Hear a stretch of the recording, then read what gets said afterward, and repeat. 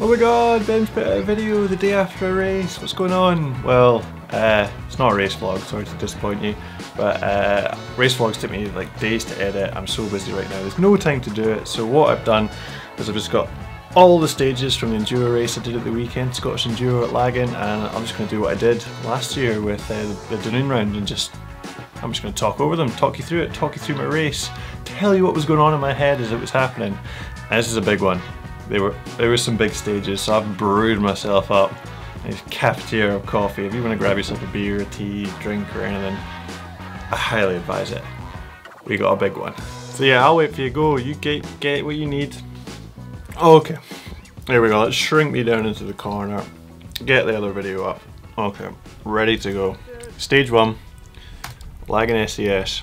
So it is so windy at the top of this stage and it's called He Made Me Do It. I don't know if one of them convinced the other to start at the top of this hill but this is like a walker's hill. It's not a bike track.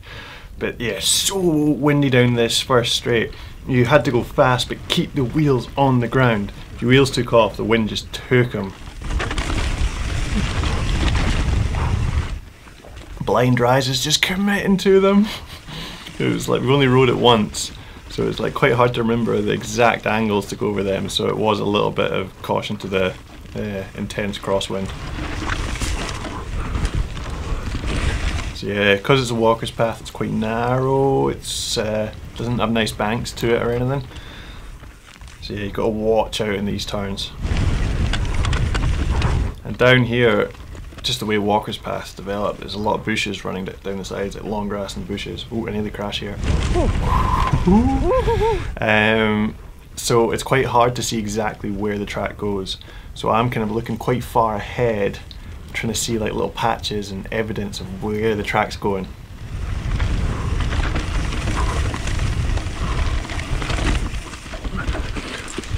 Keep it going, keep it going.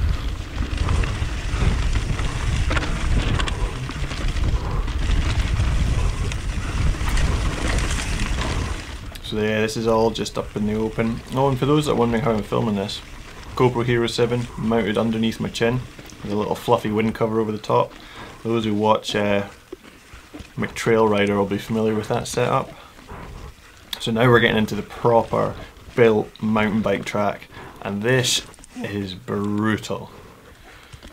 It's just quite flat, really rocky, really rooty. So you're just on the pedals, fighting with the bike, trying to just keep things going here. Really drains the energy. drained my energy, that's for sure.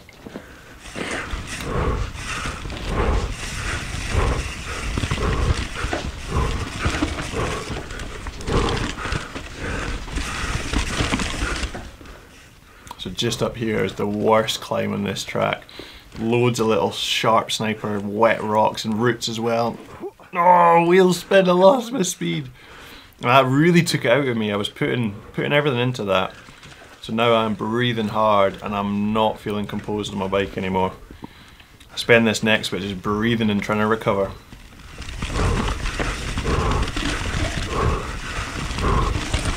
Oh. oh.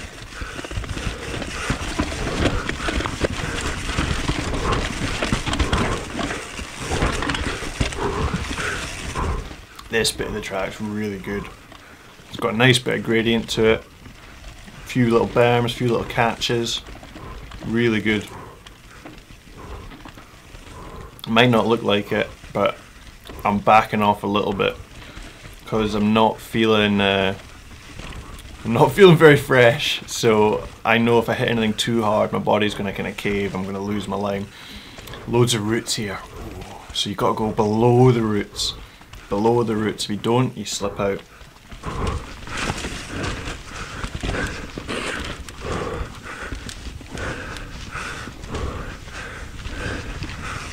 Oh, I'm breathing now. Just come on, keep going, keep going. Yeah, I'm a total mess now.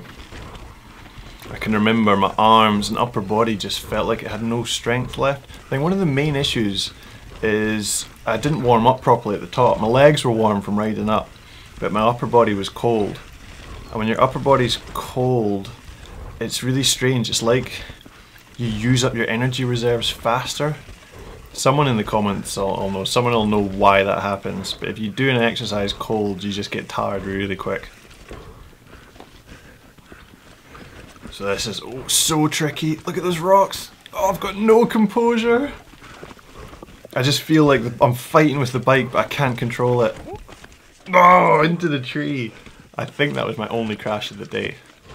Not to give it away or anything. Got a little bit of a sore arm from it. so now I'm just trying not to lose time. I feel like the the hunchback of Notre Dame here. My core is giving out. Sorry to be so pessimistic, but that was just how I was feeling on the track. I was not feeling good. But no massive mistakes though, no big, big crashes. Just kept it going, kept it rolling. This last bit's really good, there's some amazing turns down here. Just keep it flowing, looking through the corners. Keep that speed going. I'm leaning with it. like, over the drop. Over the next one. Oh, tight left hander. And finish. Such a good track. I think knowing it better, I should I'd do better next time. So this one's cool. This is uh, the best track I thought. No climbs, and for this one we do a, a one pound bet with uh, a few elite riders. And what that is, we all put a pound in, whoever gets the fastest time on this stage wins the money. Such a cool track. So I'm just getting up to speed as quick as I can. So out of this next turn, I pedalled really hard and I felt my star ratchet slip. Do you hear that? So that, I've got a 54 tooth ratchet in there. It was an upgrade I put in into a DT Swiss 240 hub. And it says it has a maximum weight rating of rider of 240 pounds. No, 200 pounds. And I weigh 200 pounds. And I put a lot of power through the pedals. So I actually sheared some of the teeth, or just the edge off of some of the teeth there.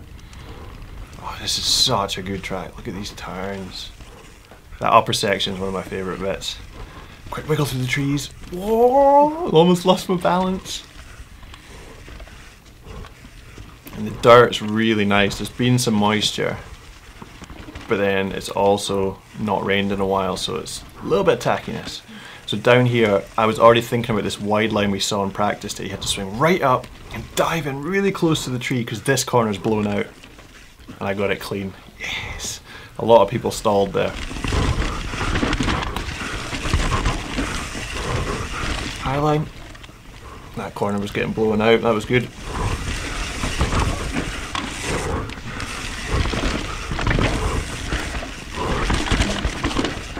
Because this track's so short, you're able to attack it the whole way. There's no conservation of energy here, just all attack.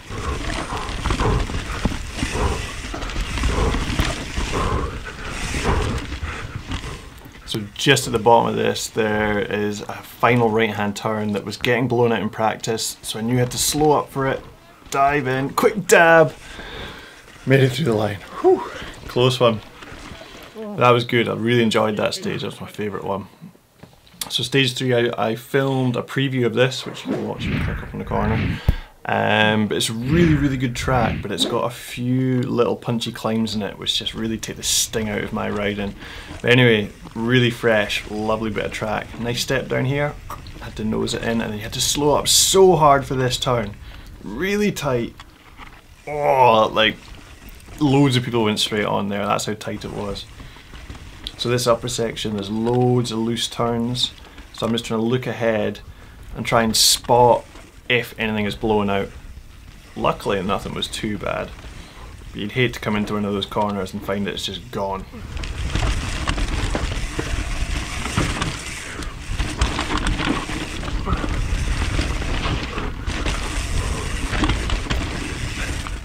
Dancing through those trees. Big 800 wood bars just sneaking past. So now the first climb starts. So it's not a severe climb, but it's pretty choppy. And it's long enough that I felt like I couldn't stand and sprint the whole thing. So I put my seat up to about three quarters height. So I've got a little bit of room to move, but I can rest the legs a little bit.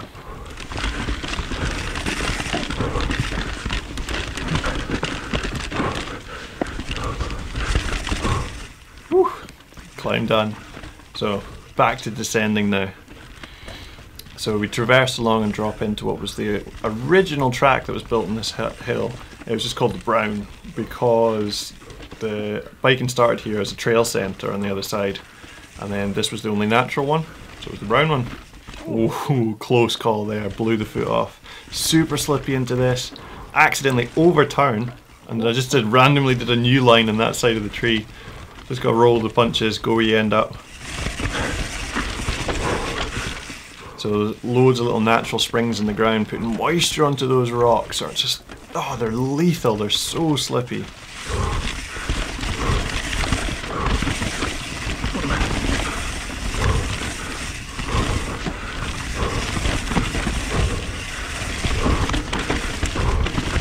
So right now I am just trying to relax and just let the bike flow. I'm trying not to put in too much effort because I know last climb is coming up. So I'm trying to save a little bit, a little bit of energy. So right now I'm seat up and I'm just spinning, keeping the eyes up, trying not to stall because this climb kind of goes along, along, along, along and it just gets steeper at the end. So I know I need to save a bit for that last punchy climb. So here it comes. Not nearly there. And it doesn't look like much, but it's enough that it just grinds you to a halt. Here it is. Like, come on, crunch down the gears, stamping on the pedals, keep going. yeah, that ended me. So last little bit's really good, nice and rocky. You can just let the bike skip and dance over it. Got to slow up for these turns and whew, off the brakes, carry the speed through them. Final little sprint, your legs are all wooden, you're just trying to ooh, keep it going. Whew. So remember from stage two where I said that uh, my freewheel crunched? Well, I was like, right, I don't want to go to this next stage with a crunch and freewheel, so I put the 18 tooth stock instead of the 54 tooth that I had in it. And uh, yeah, I hadn't used it before, so this was first time using it. And listen to how quiet it is on this next section. There's no buzz.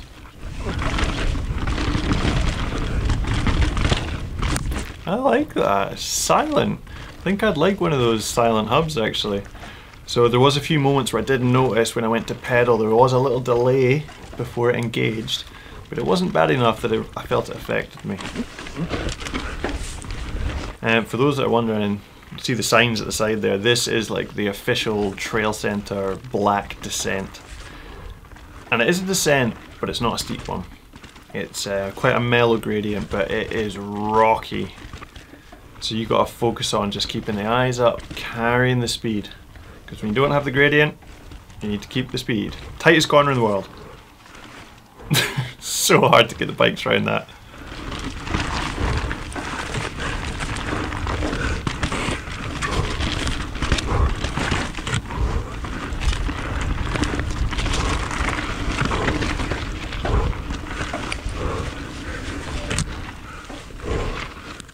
Turn. Oh, I didn't get that one very good. You need to get the brakes off early on that one to carry more speed out. So the next section is really good fun. It just follows the shape of the ground really nicely, loads of little switchbacks. And they're the kind of ones that you've got to really commit to. Blind rise, pump down it. So here it's like commit, keep the weight centered, pump through, look through the turn. Through. And we've got a vicious rock garden coming up. And you have to go as fast as you can at it to carry your speed across it. So here, I know it's coming up, so I'm sprint, sprint, sprint, across the rock, sprint again. The faster you go into it, the faster you get through it. This is probably like the roughest bit of the Black Trail.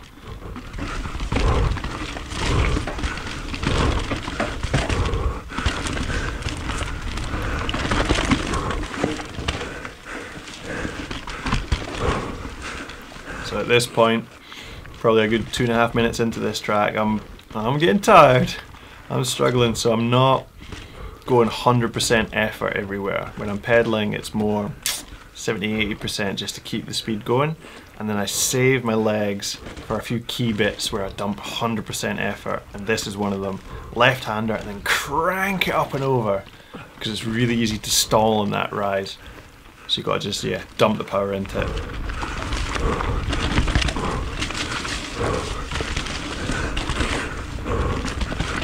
Anywhere I can, I'm just trying to sit down, chill, flow with the track.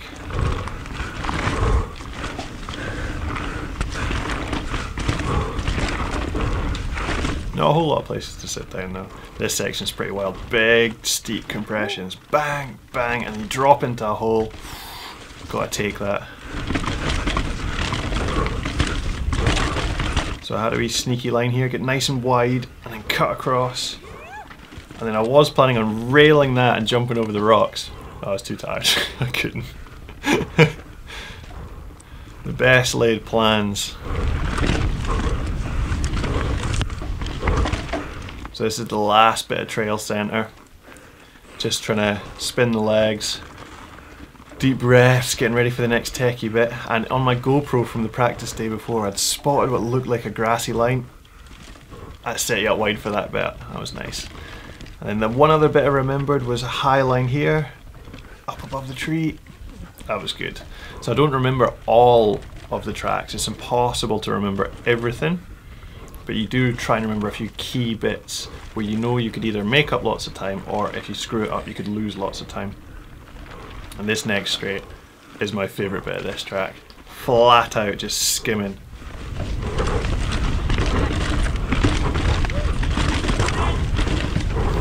I just like going fast.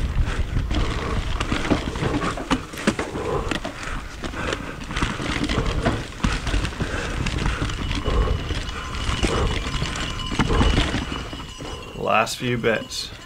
Just keep it going, keep it going. Final turn. Rail it, get on the gas, through the finish. Woohoo! Not bad, not bad. So, got through that quite pedally, but that is nothing.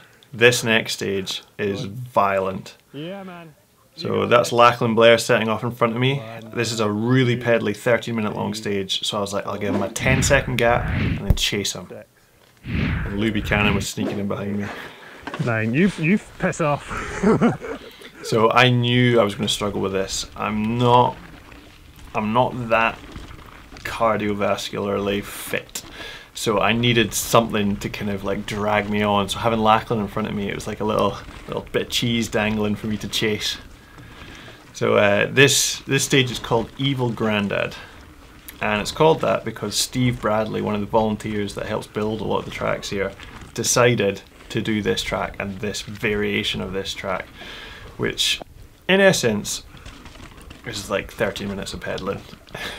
it's horrendous. This is the black climb, and it we're doing it backwards. We're doing it the wrong way. So it's quite flat doesn't flow that well. There's no support on the corners because it's not designed to be ridden down. So I'm going to speed up the bits. speed up the boring bits. Because let's face it, you're not going to want to sit and watch for 13 minutes while I'm breathing out my bum. So yeah, my, my fitness is a wee bit of a running joke at these races. I used to train hard back in the day when I raced World Cups. Uh, I used to go to the gym, and do road rides, interval training and all that.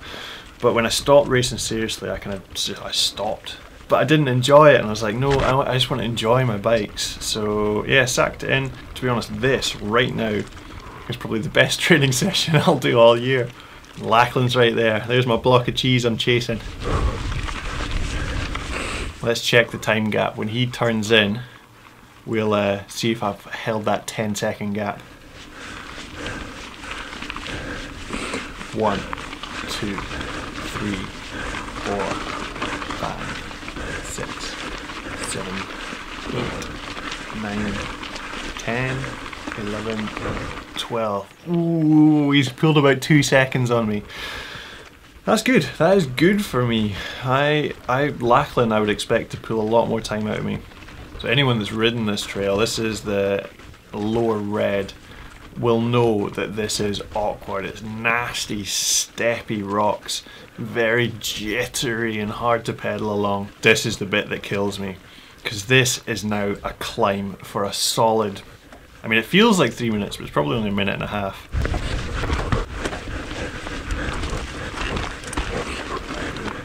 Last little switch back. Last bit of climb, come on. Dig deep, dig deep. Oh. So this is where you would usually stop when you're actually riding it just for fun, but you can't stop. You gotta keep going. Gotta click down the gears now and start sprinting. Is it down or up the gears? I always think of going down the cassette into the harder gears. I think it goes 1, 2, 3, 4, 11. So I guess it's I guess it's up the gears. I always get it back to front. I like to think of it as going down. But anyway, finally I can give the legs a rest and actually coast some bits but it's still not steep enough to fully recover.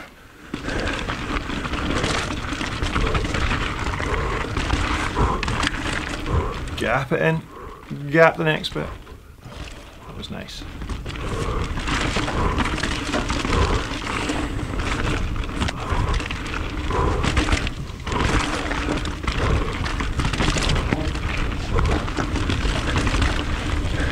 It's really interesting. I find this kind of pedally physical track, I don't feel as sketchy or like bad or physically drained as I did on that stage one when it was like an all over body workout because it was really bumpy and wet and slippy and rooty. This, you've got moments where you can just chill. You can chill, you just let the bike roll. Whereas the other tracks, you feel like you can't chill. You've got to be switched on. You've got to be keeping control of the bike. So I find these kind of trail centered ones to be less draining actually. So down here there's lots of flat turns, really loose and gravelly as well. The kind of turns you don't want to overshoot. Uh, you have to like back the speed right off. Like this one here, it's like brake, brake, brake, brake, brake, brake, brake, brake, off the brakes for the last little bit. If you overshoot them and wash out, you'd lose a load of time, way more than you'd save by trying to rail them A lot of people misjudge where you're supposed to get off the brakes for these type of turns. A lot of people think you're supposed to get off the brakes at the start. Common misconception. You actually want to be getting off the brakes just before the kind of slippiest, tightest part of the corner.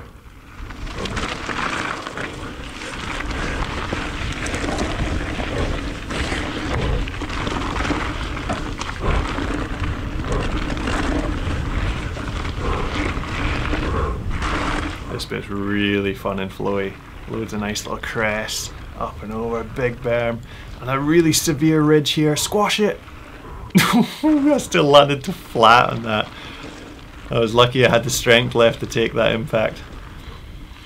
Nice bit of fire road into a headwind, and then we drop into the last bit of trail. This is the orange jumpy track. It's really nice when you're not hanging.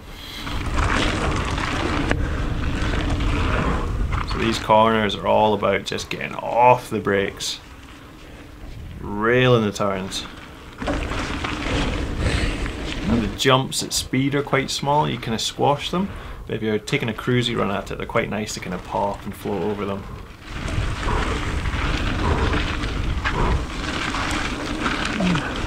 So I find on tracks like this, I'll stand up and give them a few hard pedal strokes out the corners, and then sit down and just kind of spin the legs.